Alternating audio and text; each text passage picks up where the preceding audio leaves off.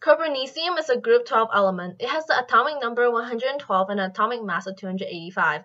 It is an extremely radioactive synthetic element that can only be created in a laboratory. Only a few copernicium atoms have ever been made, so there are no common uses for this element. The phase of this element is unknown, but there are estimations that chemists have predicted with experiments. Copernicium is predicted to be a very heavy metal with a density of 23.7 gram per centimeter cubed in a solid state. It is expected to have the hexagonal close-packed crystal structure.